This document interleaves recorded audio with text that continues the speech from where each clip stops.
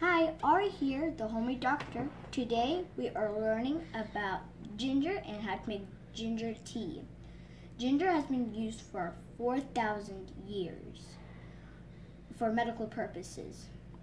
And ginger helps your stomach work better. It also helps you it helps absorbs nutrients from the food that you eat. Um, it all, every time you feel sick to the stomach, you it's a good idea idea to have some ginger. So right now I am gonna be cutting those just a few chunks.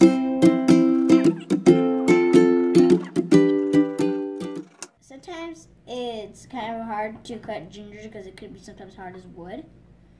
Um, so you can ask for help. All right, there's um so you can add these big slices in the tea or you can grate it. So I am going to real quick grate it.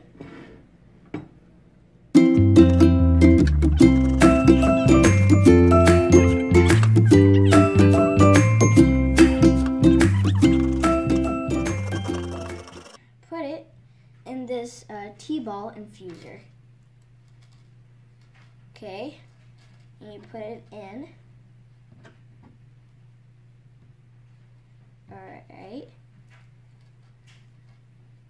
And then you put it in here and then pour some hot water.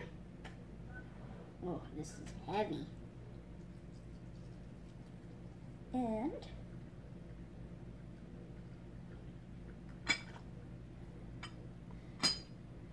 this is clover honey locally bought. And I'm not going to take too much. And then I'm going to put it and mix it. Alright, so I finished the ginger tea. Um, it's all ready, but we could add something to make it taste better. Um, we can just add a squeeze of lemon.